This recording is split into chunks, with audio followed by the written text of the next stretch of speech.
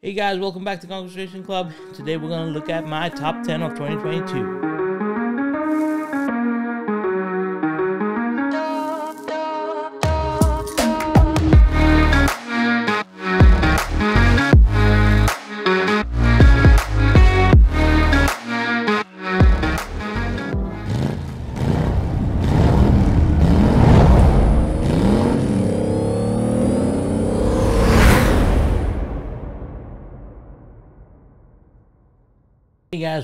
Back to Racing Club. Hope you guys had a great Christmas, great holidays. Uh, we're wrapping up 2022. Uh, this is one of the biggest videos I've ever had to make, uh, simply because the amount of time that it took to get to this point. So over the course of this year, I started my YouTube journey in January this year. Um, I decided to become, to go into the slot car community and create my content for the slot car community. Um, but over the course of this year, I've bought over 150 cars. So to get down to top 10 is very difficult when you are a car enthusiast and you have to pick your top 10 cars. So let's go through some disclaimers.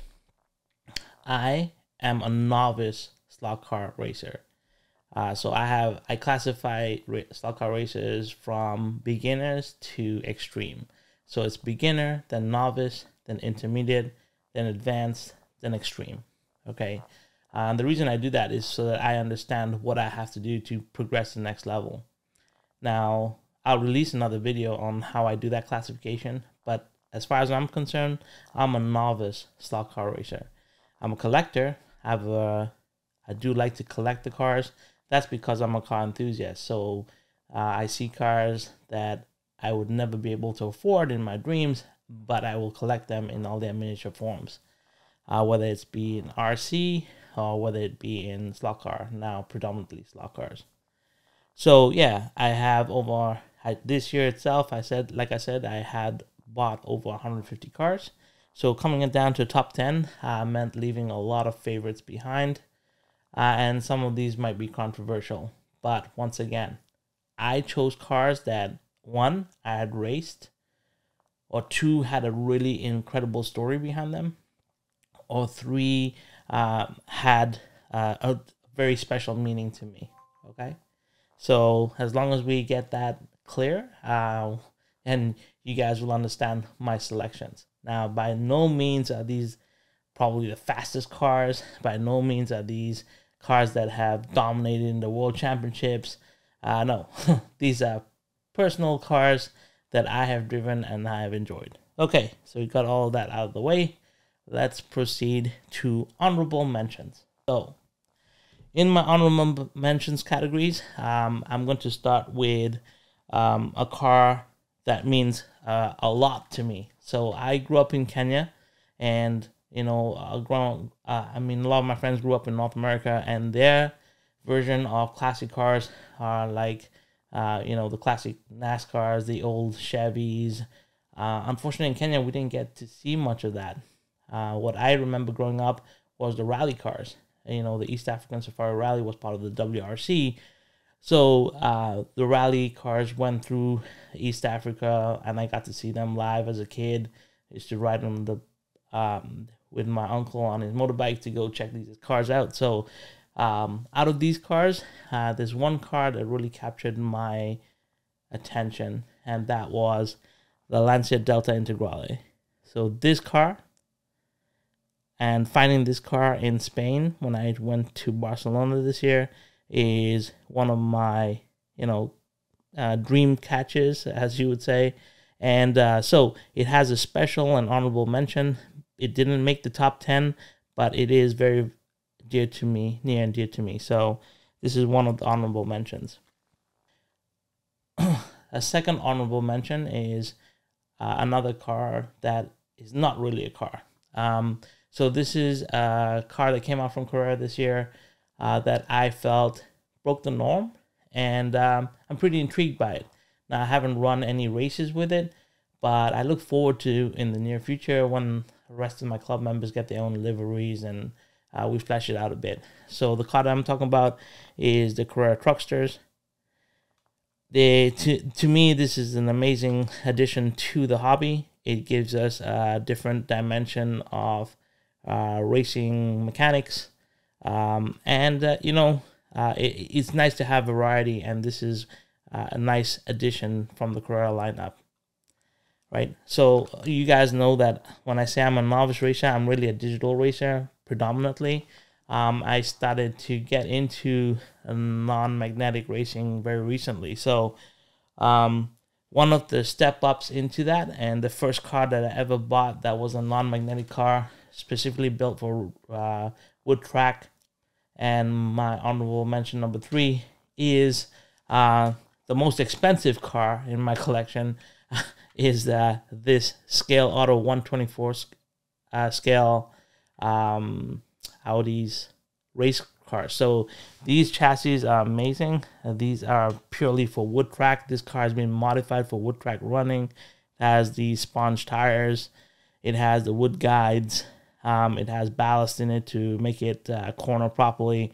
Uh, there's a lot of work that went into this car, and this is one of my two race cars that are predominantly for wood track. So this is another honorable mention that didn't make in top 10. It also doesn't fit into my collection because it is a 124th scale car. Um, uh, another honorable mention here would be the SP333. This is another car from Ernie Muzzetti. Um, once again, this car just came in, so I I've been driving it a little bit and I love it, uh, but not enough to make it into the top 10. But once again, a beautiful car. If you can pick one up, pick them up. There's only 550 for each livery that was created. Uh, so pick them up if you can. The amazing car. Um, another car that deserves an honorable mention. Again, didn't break the top 10. Might surprise people. This is my track leader right now. Uh, this is the NSR Formula One. Um, it's a great car, but um, I, I don't know. Um, Formula One cars to me are supposed are, supposed to dominate tracks. Uh, they are the most engineered cars out there. So uh, it didn't surprise me that I broke the track record. And it is a fun car to drive. And probably if I had a racing class in this, it'd probably be something that would crack the top 10, but it didn't for me because I don't have those things. And lastly, in the honorable mentions, is a brand that um, I've been racing for a long time. Uh, I'd say that I started my uh, novice journey, my beginner journey. I started in when I was eight years old, um, and I became a novice probably in 2008 when I bought my first Carrera track, uh, digital track, and uh, I started to uh, race at a club, and one of the predominant brands at that club was a Slot.it, and unfortunately, it hasn't made it into my top ten but that doesn't mean that I don't respect Slot.it. I think Slot.it is one of the best brands out there in terms of competitive slot car racing. And the componentry from Slot.it is used in many, many different brands because they're so good. So this is an honorable mention, not just for the car, because I do love this car. It is the GTR that came out from Slot.it this year, but also because of the brand. And I think the brand needs recognition, but it didn't make my top 10. So there we go. All right, so we got the honorable mentions out of the way. I know there were quite a few, but I meant I, I think that it was important to, uh, you know, talk about that these cars because they did break a little bit of the norm for me, and um, I wanted to have them as part of this video.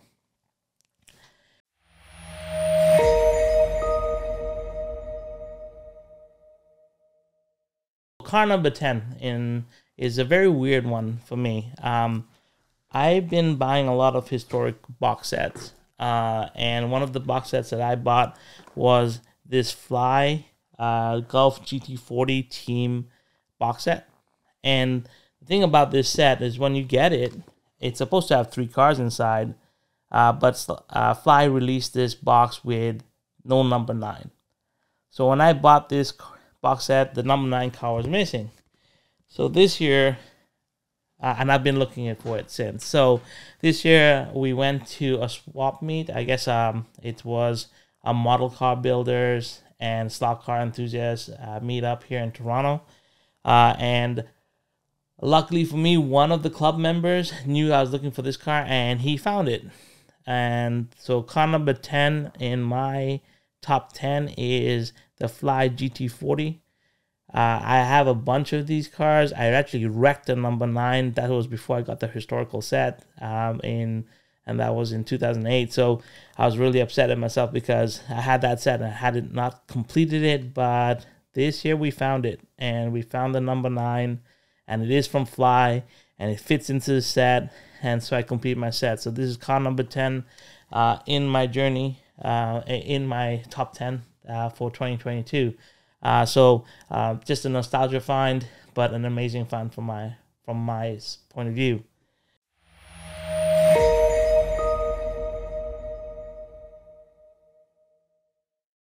Moving on to car number nine, the car that was a non-magnetic car that I just had a blast driving straight out of the box was none other than the Alfa Giulia from RevoSlot. Now, RevoSlot has made some beautiful cars. I've collected, this is my first year collecting Revo Slot, and I have probably over 20 in my collection right now.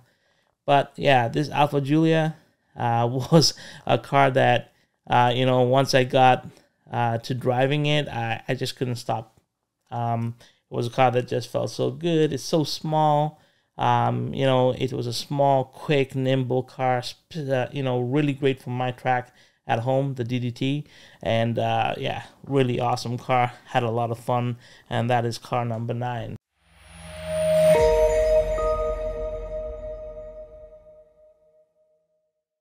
So car number eight in my list is a odd car, but I had a lot of fun at the beginning of this year because uh, we were trying in my basement league, as I call it.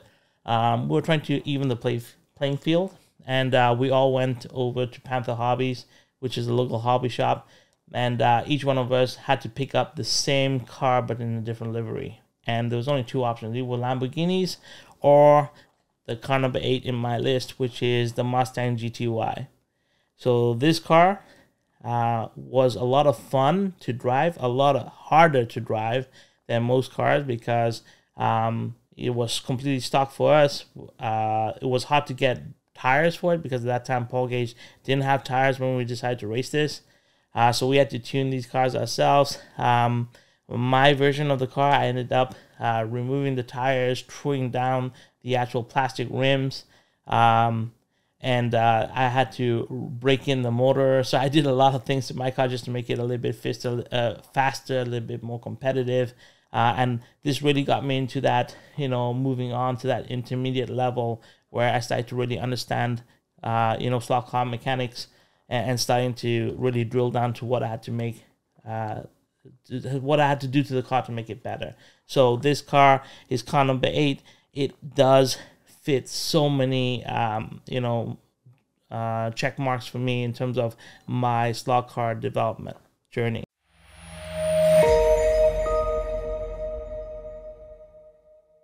And moving on to car number seven.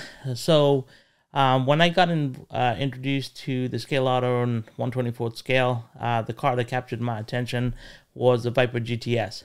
And um, I have always been a big Mopar nut ever since I came to North America, and I've owned the fastest Hellcat. I used to be an avid uh, Mopar racer on the Canadian Sport Compact Series until I had health complications.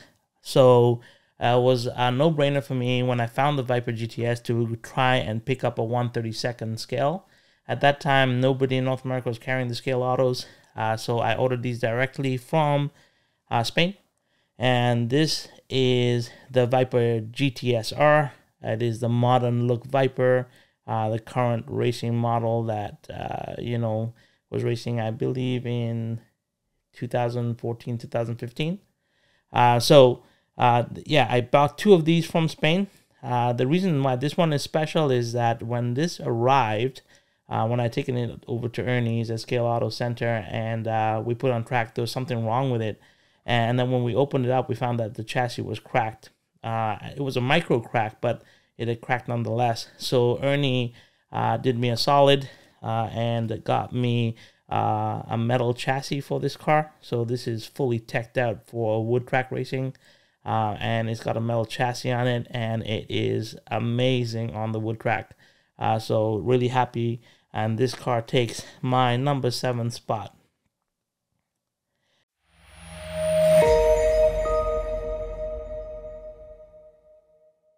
Uh, moving on to car number six.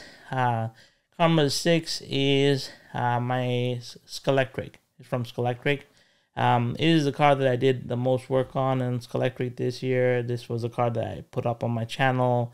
Uh, also was an impulse buy. Um, I saw the Bentley GT3, Continental GT3, uh, sitting in Ernie's shelf. Uh, it had come out of a set, and um, I picked it up. And I then took it home. I ordered the custom chip. I converted it with a scale uh, with um, Slot Invasion guide uh, and it's just a beautiful car. I've always liked the Bentley Continental GT3s. Uh, this is a car that I'd love to run on the track, and being able to have one um, in my collection was very important for me. I love the color, the matte green look on it, and yeah, it sits pretty high on my list at car number six, but that's because I did a lot of work with it, uh, and it was a joy to drive. Uh, so that's my car number six.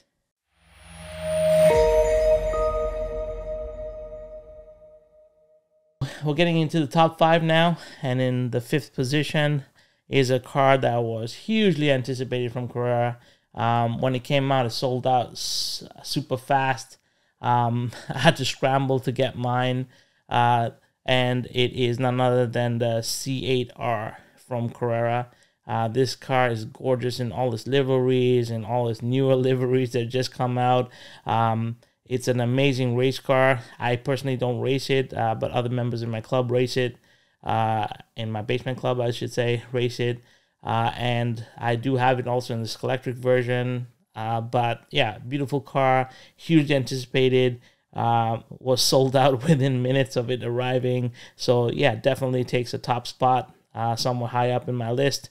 Car number five is to the C8R from Carrera.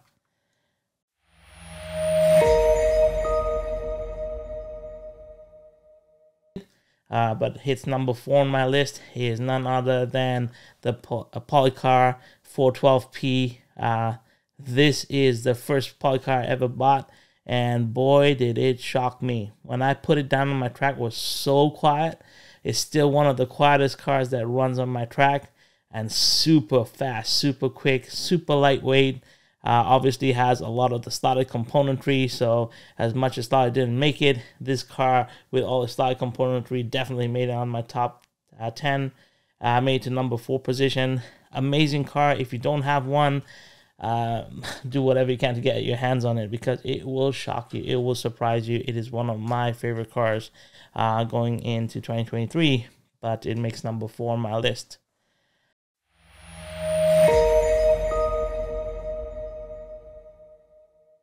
Okay, so now we're getting into the top three. And uh, now it gets a little bit tight. It was a little bit difficult. I had to drop out some. I had some fights with some club members when I did uh, reveal my list to them. Uh, and that's because uh, this car, uh, to me, is my favorite NSR. I just started collecting NSR this year. Uh, and it is none other than the 908 3 from Porsche. Um, and you know, many people will argue that the 917 has just as much right to be here. But for me, this little car did everything for me. Um, it raced really well at Ernie's plastic track. It raced really well on my DDT. It was a car that you can mod and hop up, and I, I do have all the NSR editions coming for it. Uh, but it's just quick out of the box. It was fun. It's a beautiful short wheelbase. It's nimble it checks up so many marks um, of a race car's dream, uh, a racer's dream car. So um, definitely deserves this number three position. Uh, I do have it in a number of liveries and will continue to collect it as it keeps on coming out. So that is car number three.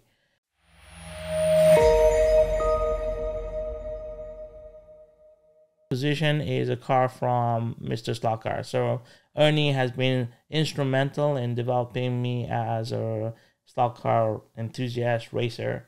Um, he's one of the nicest men I've ever met. Um, he's very knowledgeable, very quick to spread his knowledge, and he's helped me a long way. And one of the things that Ernie really helped me do better, and the people around uh, Scale Auto Center uh, in Toronto, uh, the some of the top drivers there, they're very very knowledgeable, and um, and I guess they saw through my passion, they've kind of taken me under their wing and introduced me to the non-magnetic racing. So the car number two for me is this um, Porsche uh, GT1 Evo from uh, Mr. Slot Car.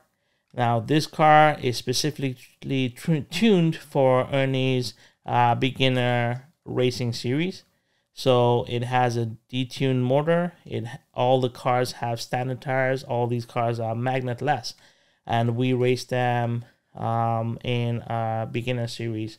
So this car, I've put in quite a few laps. Um, I've learned how to drive non-magnetic.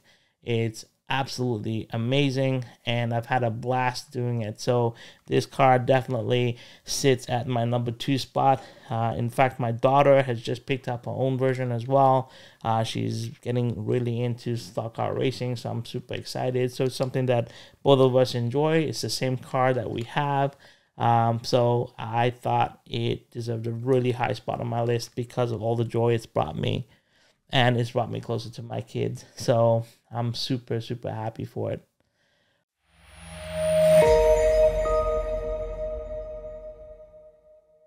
The, my ultimate car that I raced this year, uh, the car that I love even in real life, um, and uh, a car that just did everything that I ever wanted to do. It dominated the basement league that I have um, when is none other than the Carrera Porsche um, 911 RSR.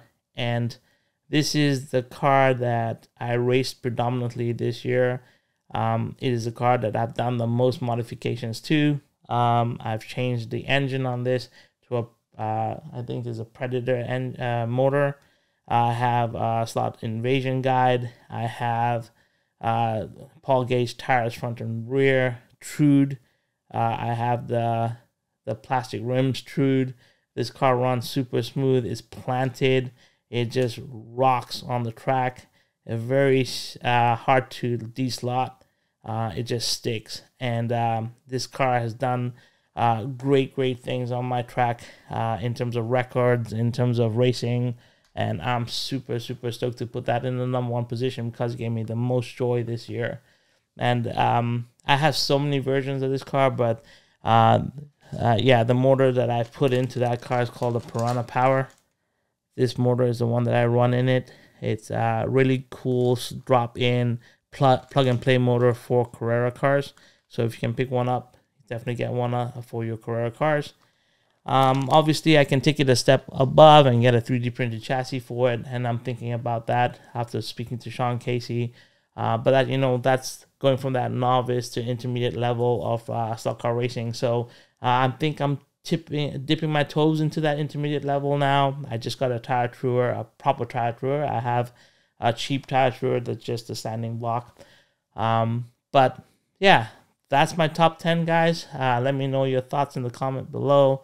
Uh, I know some of them would be controversial, but like I said from the very beginning, these are cars that I had a lot of fun with and I really enjoyed this year.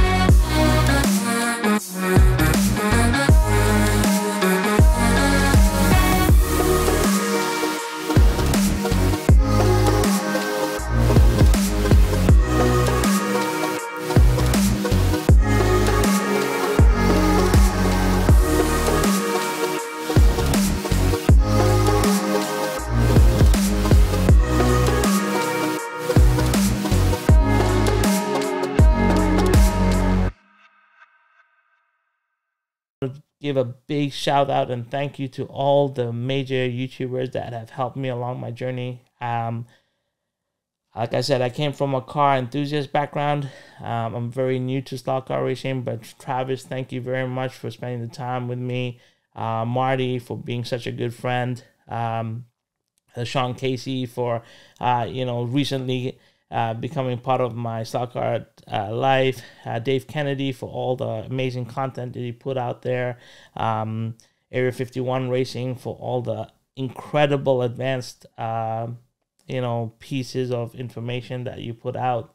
Um, I thank you. There's so many other people that I should thank. Ernie, of course, uh, for all his knowledge and support. And I want to thank you for having a great 2022. And I look forward to expanding my slot car, uh, you know, journey uh, as I move to that intermediate level in 2023. So once again, guys, thank you very much for watching this video. If you like this kind of content, if you like car reviews, I do them every week. Uh, I love cars, and I have, like I said, I have a whole bunch that I've picked up that I have to review. Um, and thank you very much for subscribing. For anybody who hasn't subscribed and would love to support the channel, please just hit the subscribe button, hit that, hit that bell. I. Um, for anyone who wants to support this channel and help out, Please remember to hit that subscribe button below. Uh, hit the bell icon so you get notified when I go live. I'm going to do a lot more live streaming. I've tested out some new camera systems.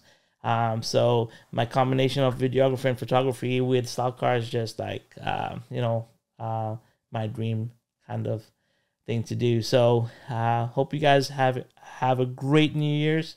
Um, thank you very much for tuning in, and like always, continue having fun rails, guys. Take care. Bye bye. For anyone who wants to support this channel and help out, please remember to hit that subscribe button below. Uh, hit the bell icon so you get notified when I go live. I'm going to do a lot more live streaming. I've tested out some new camera systems. Um, so my combination of videography and photography with slot cars just like uh, you know uh, my dream kind of thing to do. So uh, hope you guys have have a great New Year's. Um, thank you very much for tuning in, and like always, continue having fun on rails, guys. Take care. Bye bye.